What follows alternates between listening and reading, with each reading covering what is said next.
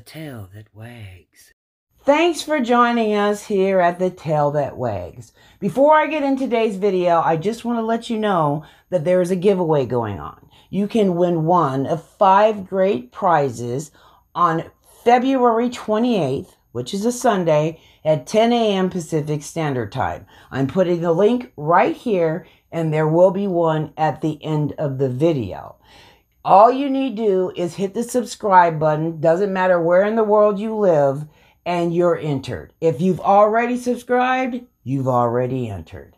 This week's Gnaw on This question is why does your dog go around in circles and have to find the best place to go potty? And what does that have to do with the magnetic fields of the earth? Well, I'll tell you the answer of that at the end of the video on the Gnaw on This answer. Well, I was working on this month's Let's Talk Breeds. It's about mutts and designer dogs and what's the difference. Well, I was working on it and then I started to get really tired and then I got exhausted until I was just dumb rum. So I sat down on the floor with Quinn and we started talking about him being a Wookiee in his other life.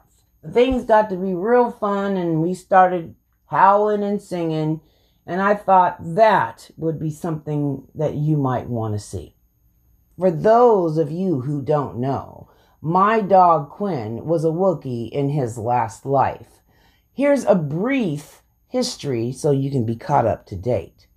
And just to be funny, I went up to Quinn and I said, Chisa, Pizza, Kuanki Chewbacca. Pizza, pizza, they want me Chewbacca. They want me Chewbacca. Tisa, Vija te wani Chewbacca.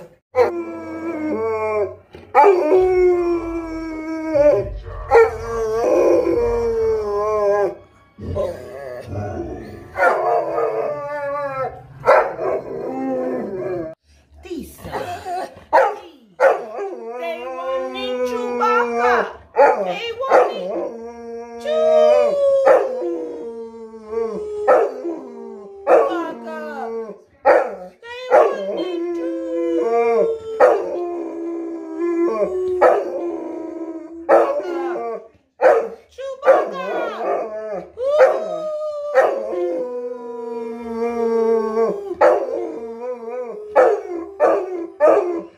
Yeah.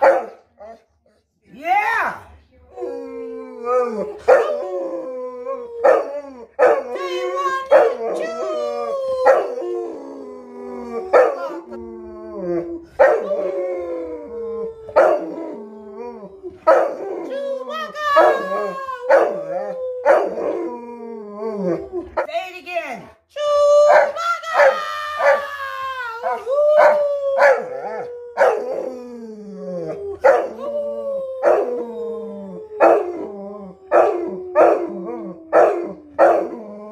That's right. Say, I'm the Velvet Wookie. Say it. I'm the Velvet Wookie.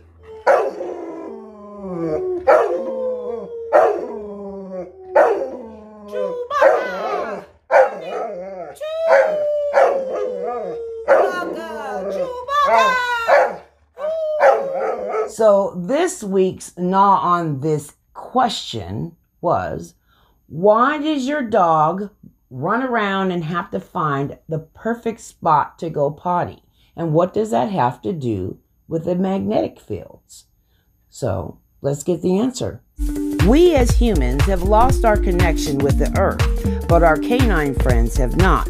Dogs can see and feel the Earth's magnetic fields and prefer to align their spines on the north south axis of our planet when they eliminate, avoiding the east west axis altogether. Male dogs urinate wherever they feel the need, but they follow the north south axis rule when they defecate. Female dogs, however, urinate and defecate on the north south axis. This may explain how dogs have that internal compass and know how to get home when they're away at long distances. Humans have proteins in their retinas to help detect magnetic fields, and some people are more sensitive than others. Fascinating, right? So now you know why your dog takes a minute to find the perfect spot to go potty. So give them a break and let them take their time. After all, can you go potty just anywhere? So there you have it, this week's video. I hope you enjoyed it. Don't forget to hit the subscribe button so you can be entered in the giveaway. Also, if you have a question, a comment, something you like or don't like, put it in the comments section so I can answer. And if you like it, give me a thumbs up. Thank you so much, and we'll see you next week.